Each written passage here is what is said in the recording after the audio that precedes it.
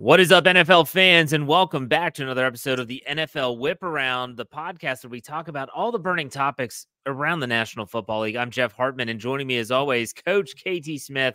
Coach, how's it going? Going great, man. Happy to be here. A lot, yeah, of, man. lot of good stuff on tap this week. As always, been an exciting NFL season, man.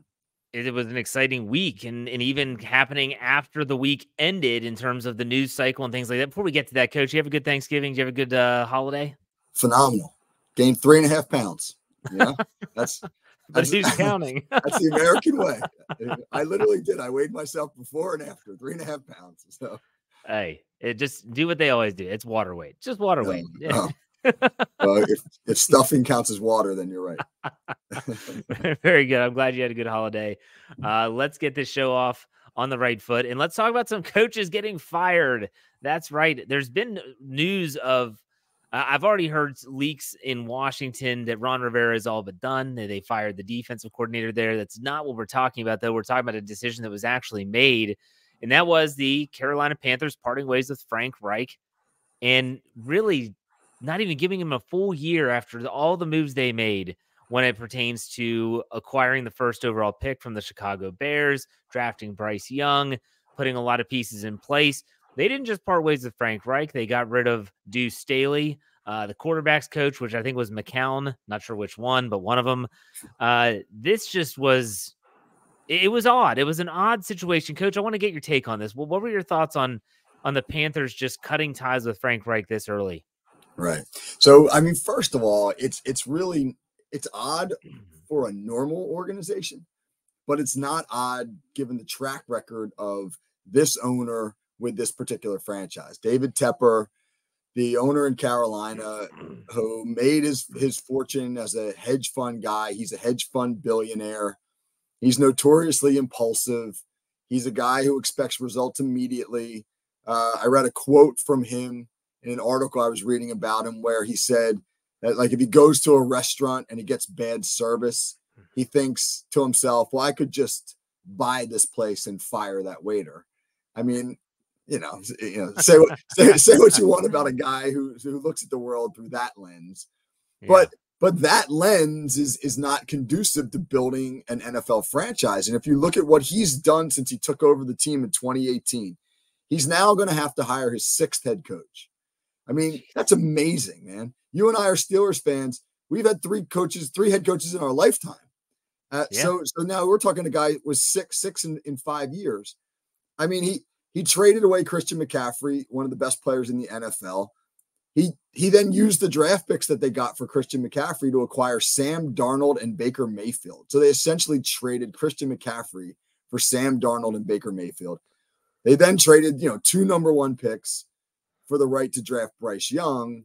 One of those picks is going to work out to turn out to be the number one pick in the draft. Oh, and they also traded DJ Moore, their best offensive player.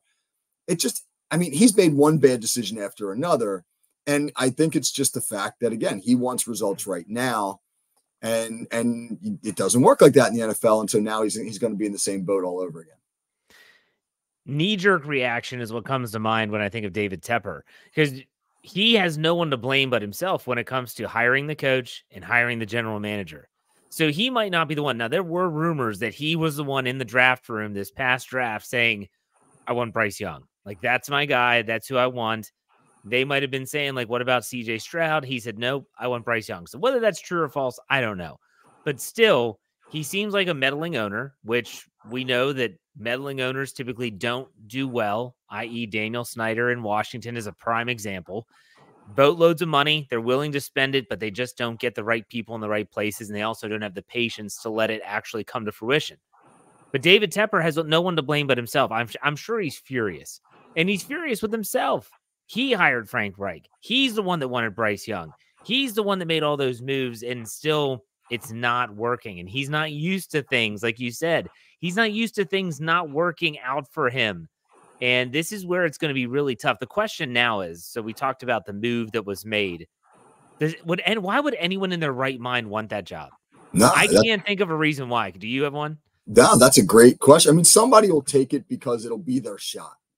But if you're good enough to have other options, you're clearly not choosing Carolina. They're going to want an offensive mind to help develop Bryce Young. So think about some of the of the up and comers, right? You got Bobby Slowik, the yep. OC in Houston, who's doing a great job developing CJ Stroud. Uh, you got um, the Ben Johnson in Detroit, who's who's you know uh, in the circle of names you're hearing. You're hearing Brian Johnson in Philly, his name get kicked around. But if you're any of those guys, you're going to wait this out because in a normal off season, there are there are six head coaching vacancies. That's the number that's about normal. This year there may be more. I've heard people say maybe seven to ten. And so you're thinking about, all right, the Chargers job looks like it's going to come open. I mean, yeah. Justin Herbert, 100% you're going to go there. Um, the you know the Bears job might come open if you believe in Justin Fields. You have an opportunity to go there to you know not a great division. The Washington job could come open. I mean, there's those are all far more attractive opportunities than what's going on in Carolina. And so if you're one of those elite guys, then you know I don't think you take that job. Hey, maybe I don't know. Maybe maybe they go for an end of career guy. You know, like a like an older veteran guy who who's never had a shot, and yeah. he just sees this as maybe the only chance he gets. I'll give you a name that I think would say I'll take it because I've been waiting forever, and if I just get a job, like give me a chance. Like just give me. It's Eric Bieniemy. Yeah, I, Eric Bieniemy has been waiting in the wings for how long in Kansas City and now even in Washington. And we all assume the Washington job is going to come open. But even if it does and they go somewhere else, there's rumors that they want to trade for Bill Belichick and they want him to be the GM and the coach in Washington. Good Lord. I hope that happens because it'll be a dumpster fire. But still, if Eric Bieniemy's there, he might be saying, I don't want to be a part of this. So if Carolina says, hey, we got a, a really good young quarterback, it's a clean slate, bring your bring your guys down. I got to think he, would jump at that, would he not? He's not one of those guys like, the the the young and up and comers that have the patience to say, I'm going to hold out and stay where I am. I'm not going to take this job just to take the job. Bieniemy's a guy that's intriguing to me. Is he intriguing to you at all, Coach? Yeah, and he he might look at Bryce Young and say, I can fix him. Uh, some True. of the things that Eric Bieniemy does in in his offense fit Bryce Young's skill set, and and you know based upon what Bieniemy liked to do in in Kansas City, and so he might say, you know, granted, I don't I don't have a lot of the talent around him that I would prefer, but I do have the marquee piece, the quarterback, and I think I can fix him. And if I can get him right, everything will sort of take off from there. And he just wants a chance. He just wants a shot at being a head coach. And he's been a coordinator for a long time, been very successful. And so that's a name to keep your eye on if you're looking for someone that might jump at the Carolina job when most people would say I'll pass. But let's look at the other side of the fence here. We talked about this. You mentioned it. Since 1969, the Pittsburgh Steelers have had three head coaches, which is still mind boggling and remarkable. It is the organization that prides itself on consistency and longevity. And so this week, though, they did something they haven't done since 1941. And they fired a coach, not a head coach, but they fired a coach mid season. Matt Canada, gone. And how do they respond? I always point, I said this in my podcast talking about the Steelers. Obviously, we cover the Steelers for the Steel Curtain Network. First play from scrimmage, tight end down the seam, big play. And it just felt like, wow, everything's opened up. They go for over 400 yards the first time since Ben Roethlisberger was quarterback in 2020 against the Indianapolis Colts. Have they fixed it, coach, in Pittsburgh? And I mean, the offense after just one game, is it enough? All right, two quick comments before I answer that question. One, for, for, for fans listening who are not Steelers fans, the Steelers throwing the ball down the middle of the field to a tight end for a completion is like a it's like a miracle, man. I mean, it's it's it's uh you can't whale. imagine, right? Yeah, you can't imagine what that's like for a Steelers fan. Um, and two, 58 games, right? You're right. 58 games the Steelers had gone without amassing 400 yards from scrimmage. And if you ever wanted an idea for how great a coach Mike Tomlin is, there were there were 10 other teams that were in that range of of having gone 50 plus games over the last 30 years without gaining 400 yards.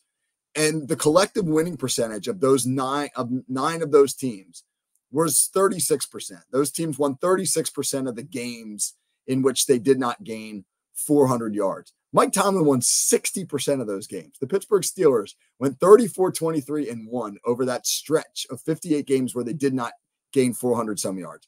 That just gives you an idea about how how that guy can keep that team together despite not having a prolific offense. So, so that's one thing. Uh, now, the question as to whether they fix the offense or not, I mean, my answer right now is, you know, but TBD, right? To be determined. I'm not. I'm not willing to say yes because that Bengals defense is not very good, uh, and and the Steelers still only scored 16 points. Looked great. Did a lot of things that Steeler fans have wanted them to do now for you know two plus years. Uh, but at the same time, man, too many self-inflicted wounds in plus territory, and they wind up with 16 points. So they got to obviously finish. But needless to say, man, the early signs are very encouraging. This was this was odd, and I'm going to ask you this because we don't do a show on the Steel Curtain Network together, and I'm going to be talking about this on my Wednesday Let's Ride podcast, and it is going to be based on that the early returns, and it's only one game, which is a tiny sample size. You saw a change. I think we can all agree we saw a change, whether it was in philosophy, scheme, the play calling, how the game flowed. It was a significant, noticeable change. My question for you, you, you toted, you, you talked about how Mike Tomlin is such a great coach, and I agree. But why did it take this long for him to see what we've been seeing now for over two years, coach? Like mm. what was what, what was the stumbling block that prevented this move from happening? What we all thought it was going to be this offseason to get Kenny Pickett into a different system, give an entire offseason. Instead, they wait until after week 10, or I'm sorry, week 11 to pull the trigger after a horrible Browns loss. That's the only sticking point with Tomlin right now because Tomlin was the one that wanted him gone. He's the one that put the pressure on Art Rooney to get him fired. He got his blessing and then he was gone. What took so long, coach? Help me out. Help me find the answer to this. Uh, I mean, two things. One, you said it. You know, the Steelers haven't fired a, a coach in season since 1941. That that's not. They don't. They don't pay coaches to not coach. That's something that they don't do. Canada's contract was going to run out at the end of the year, and their mo has just been to like not rehire those guys. But two, I think the reason Tomlin pressed for it was that he was on the verge of losing the locker room. The Steelers mm-hmm. the week before against Cleveland had a near mutiny, man. I mean, from the first play of the game when when they just failed to mm-hmm. block Myles Garrett and he came barreling in and, and blast blasted Kenny Pickett. The, there were so many times where you saw Steeler players looking at each other with throwing their hands up, confused, kind of bickering a little bit, miscommunication between Pickett and the receivers, Diontae Johnson having a meltdown on the sideline, uh, you know, getting into it with Minkah Fitzpatrick, Najee Harris after the game, doing everything he could not to, you know, go off to the media. So, like, I think Mike Tomlin recognized, man, we're, we're, we're we've reached the boiling point, and I'm going to lose the locker room if I don't press for this. And that's probably what finally motivated him whatever it was, it seems to it worked for one week and it, it should work for the next few because they've got Arizona this week and then New England on Thursday night after that, both at home. We'll see how that goes. Let's hope that as we cover the Steelers and we are Steeler fans, let's hope that that trend continues. Okay, let's go to the third topic of the whip around, and that is what impressed you most on Sunday? Is it a team? Is it a player? Is it a play? Who or what was Sunday's most impressive performance for you, coach? Go ahead. I, I got to tell you, man, I, I just I'm so impressed with the Philadelphia Eagles. They just you want to talk about a team finding ways to win. This is now two weeks in a row where they've been down by 10 points at halftime to a really good team. Two weeks ago it was Kansas City. Last on Sunday it was Buffalo. And yet they figure it out. They don't panic. They come back. Uh, Jalen Hurts is just so good, so cool under pressure. Uh, again, in the Buffalo game, Josh Allen plays out of his mind one of his best games of the year. And you know, this and the Eagles are down to their last play, man. They got to kick a 59 yard field goal in a driving rain in order to extend that game. And Jake Elliott nails it. And then Buffalo kicks a field goal in overtime, and the Eagles, you know, go right down the field and score on a great play call. They just, they just, and the crazy thing is, everybody's saying they're not playing their best football. They haven't played their best game yet, but they wait teams out, you know, and they wait for the other team to blink. Like like against the Chiefs, man. The Chiefs had a chance to win the game late, and you know, uh, the the Scantling kid, the receiver, drops a, a, what would be a touchdown in the Buffalo game. Buffalo's got a chance to win the game in overtime, and Allen and Gabe Davis miscommunicate on an option route that would have been a sure touchdown. You you blink, the Eagles beat you. They've got four awesome wins. They've beaten Kansas City, Buffalo, Miami, and Dallas. Nobody's got that resume. They're 10 and 1. And everybody just feels like they're not playing that well. So for me right now, what Philly's doing is just like, like that's championship stuff, winning those types of games. let me ask you about this game because it was exciting. Like that, that was this was the uh this was the culminating event of the week, and it was such a it was a highly touted game, and it lived up to the hype. Were you like me watching Buffalo kneel it out at the very end, like just saying like you have some time, like what, what do you what, what's going on? It didn't make any sense. You and Josh Allen, like the the clutch factor. Everyone talks about you have the it factor, right? You know the the pressure's on, you're going to make a play. Kenny Pickett, that's what he's only had. His, he, he hangs his hat on that. That nothing else. He doesn't have the yards and the touchdowns, but he's had the game-winning drives, clutch drives, and when make the throws when it matters most. Josh Allen's never won an overtime game in his NFL career, including the playoffs.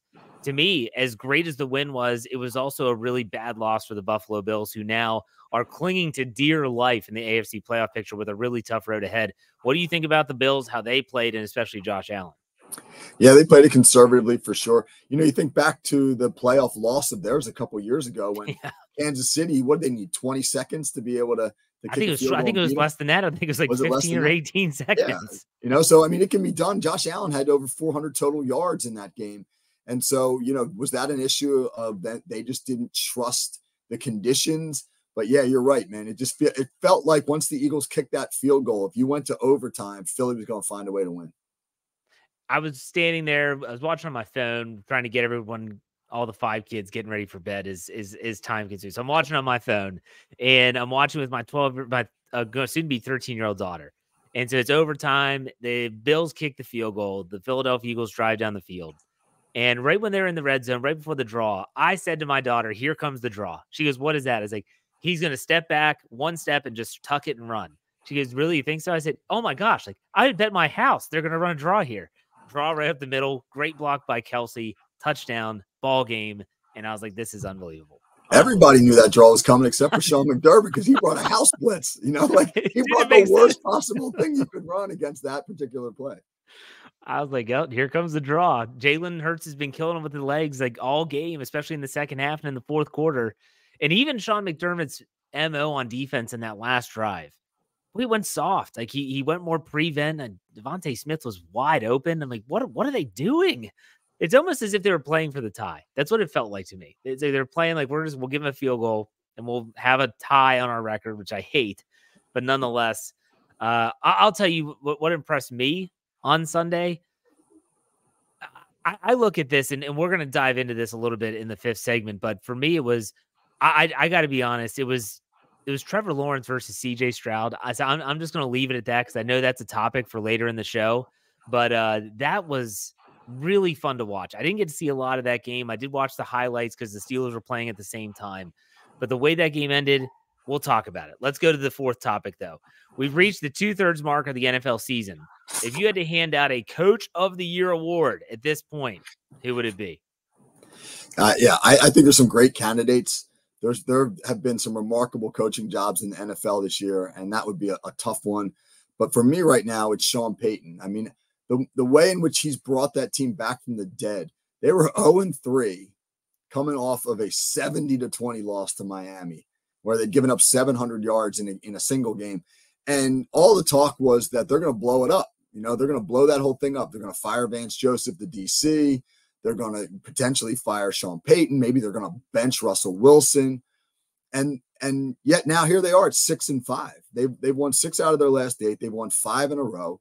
They've they've gotten Russell Wilson to buy in to changing his style. Man, they really have managed him differently. He's he only threw for 134 yards on Sunday, uh, but he managed the game well. He's not turning the ball over.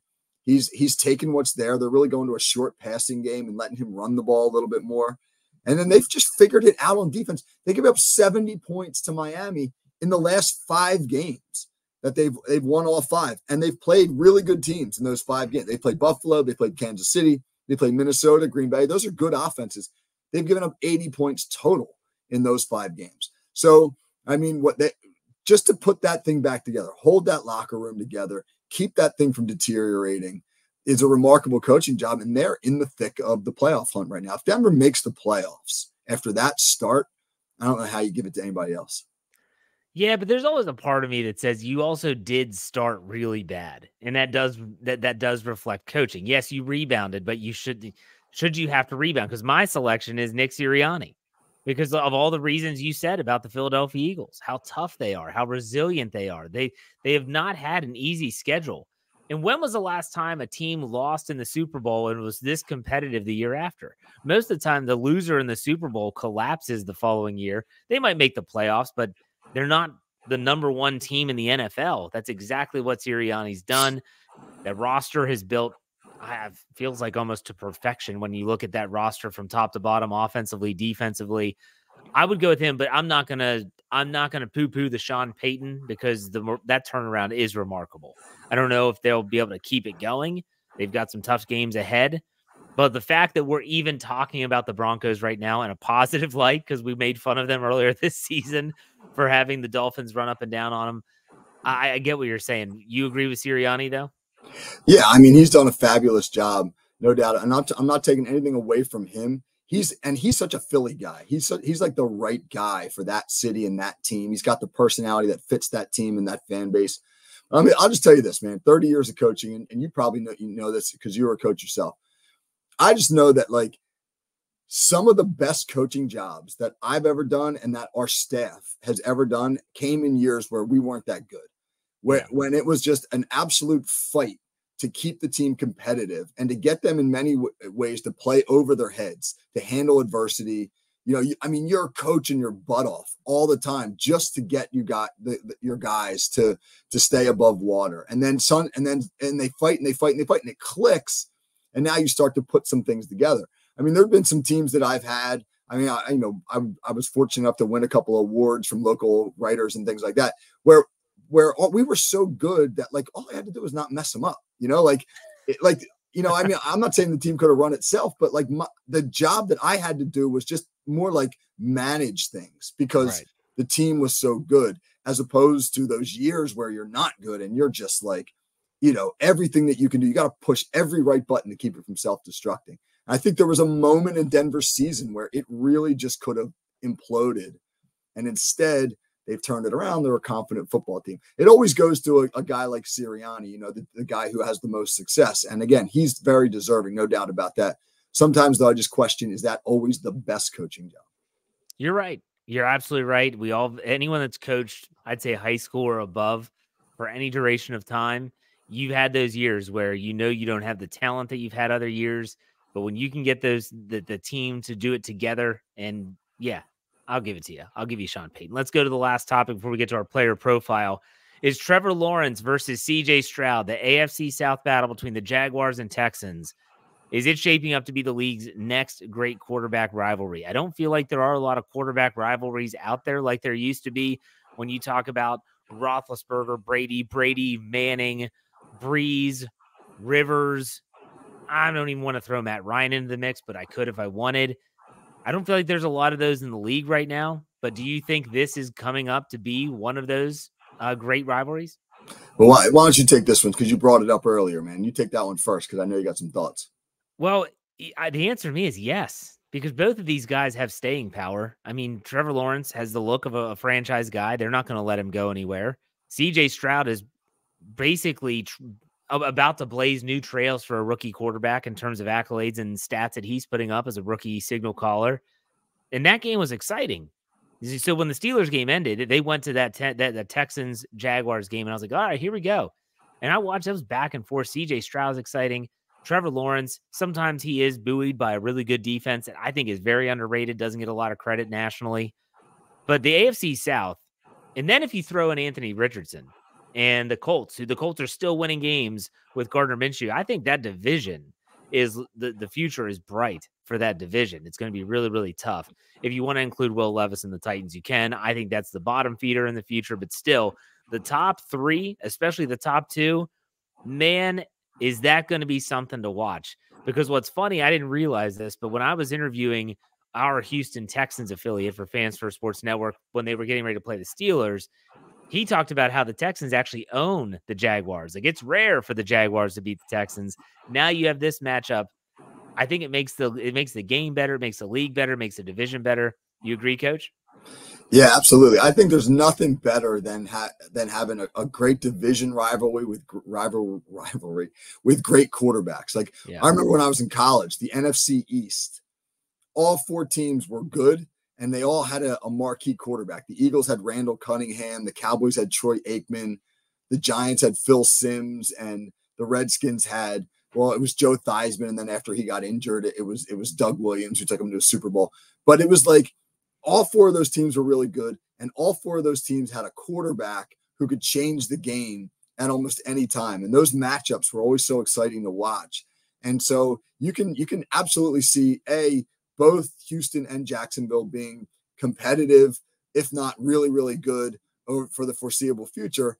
And then B, those games getting bumped up to prime time. Like you know, Houston Jacksonville next year is going to be a Sunday night yes. game or a Monday night game, a prime time game, and having the hype surrounding it. And you know, you can see these 34 31 shootouts that come down to the last minute. That that's shaping up to be uh, a division nobody paid much attention to to must see TV. So that's great for the game. It is. I, I do want to ask you. This is off the cuff, but it kind of ties in with the division talk and the competitive nature of the NFL. Did you hear Tom Brady's comments recently on the uh, Stephen A. Smith show about the mediocrity of today's NFL?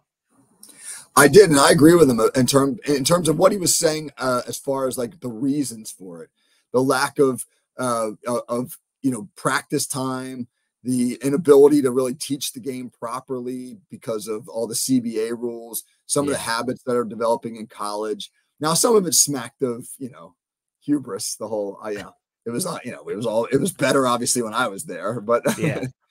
but I, well, I did he, thought he, I thought he had some valid points for sure. He's caught some flack from former players saying, well, he also played in the most uncompetitive division in football in the AFC East. When you think back to those those AFC East, the Buffalo Bills were not these Buffalo Bills that we just talked about in this episode.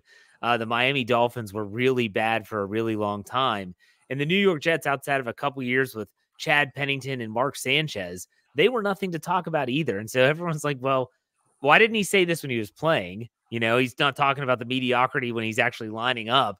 But two, he played in the AFC East, which was one of the worst divisions in football for almost his entire time in New England. So I see both sides, but I was curious about your take. I don't want to spend too much time on that because I can't stand Tom Brady. But anyways, yeah, real, all right, real quick on a scale sure. of one to ten, as a Steeler fan, yeah, who who whose whose t- favorite team was routinely punished by Tom Brady and the Patriots.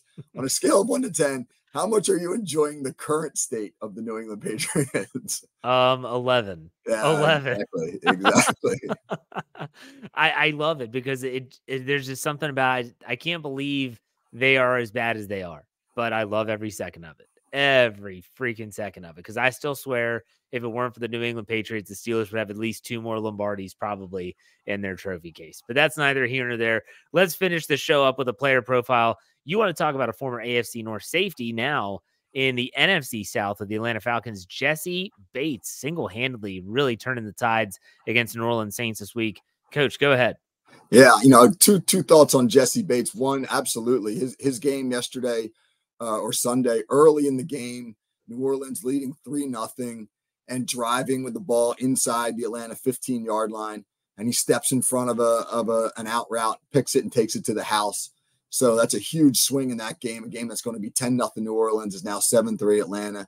And then the third quarter with Atlanta protecting a 14 12 lead, and New Orleans again in the red zone makes a big hit, forces a fumble that Atlanta recovers. So, I mean, he single handedly thwarted two New Orleans scoring drives. He's that that guy, man. He's that guy that changes games on the defensive side of the ball. You don't hear a lot about him. You know, he played in Cincinnati for a while and was fairly obscure, and now he goes to Atlanta and they don't get a ton of coverage. Um, and yet he's he's absolutely one of the best safeties in the game.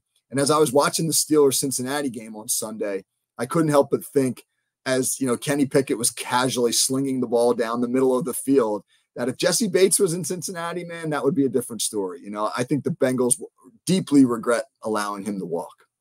Well, when you pay the quarterback a king's ransom, you can't pay everyone, and they had to have space allotted. They knew they were going to give Burrow the money, and you're right. We watched that game against the Bengals. That defense is different without Vonn Bell and Jesse Bates back there. And you you said it. I think you hit the nail on the head. He's not a household name. You know, when you think about, but really the safety position isn't a household position anymore. even go back to the early 2000s. Who'd you have at safety? You had Bob Sanders, Troy Polamalu, Ed Reed, Brian Dawkins. Those were household names in the National Football League. Now, who are the safeties that people are talking about? Minkah Fitzpatrick, probably. Anyone else come to mind, coach, as a predominant safety? Budda Baker, he's hurt all the time. No, no, you're right because they they've taken the hitting out of the game. You exactly. know, I mean, and a lot of those guys were hitters, and and you feared right running some of those routes. We saw the Steelers running casually on, on Sunday because you knew you were going to get laid out. You know, and and you can't yeah. do that anymore. So Jessie Bates does deserve credit. The safeties are still good in this league. I think they're tasked with doing a lot more. It's a different position than it was in the early 2000s. Jessie Bates deserves some credit, especially now that he's not in the AFC North. So there you go. All right, coach. Any final thoughts on week 12 before we call it a show? I don't have any final thoughts on week 12, but I'm really excited for week 13. San Francisco at Philly. Mm. That to me will be the game of the year. The 49ers have been talking trash all year long about how they got robbed in the in last year's NFC Championship game because Brock Purdy got hurt. Uh, you know, the Eagles, I think, have just sort of been casually going about their business, and that's going to be, you know, I don't know what time slot that game is on. Four twenty-five. Oh, there you go, man. The national game on on yes. Sunday that will be uh, must see television. It is going to be a fun one. We will be breaking that down next week. Before we go, though, Coach, what's coming up on the call sheet this week? Yeah, I mean, we're really going to talk a lot about coaching, a lot of a lot of fi- uh, firings, you know, but, but whether it's the head coaching position or a couple offensive coordinators. We're going to talk about what makes a good offensive coordinator. Uh, what are some of the things that that maybe the fans don't see that go into being a quality offensive coordinator, and and what might be some of the marquee jobs available to some of the the young and up and coming OCs in the league right now. So you know, if you like talking about offensive football from a coaching standpoint, it'll be a good breakdown. There you go. Great. And where, where can we find you on Twitter? Uh, at KT Smith FFSN. And then uh, up on for you Steeler fans, there's a new uh, new call sheet breakdown of uh, of the Steelers up on YouTube, breaking down their performance on Sunday against Cincinnati. Yeah, you can find that on the Steel Curtain Network's YouTube channel, and you can check out his writing at steelcurtainnetwork.com. You can check out all of our Steelers coverage at the Steel Curtain Network just by searching Steelers or Steel Curtain Network wherever you get your podcast. We do appreciate the support. Make sure you check out all of our Fans First Sports Network NFL coverage here, as well as on fansfirstsports.com. I am Jeff Hartman. You can find me on Twitter at J Hartman, H A R T M A N underscore P I T. Until next week, coach, take it easy. We'll see you.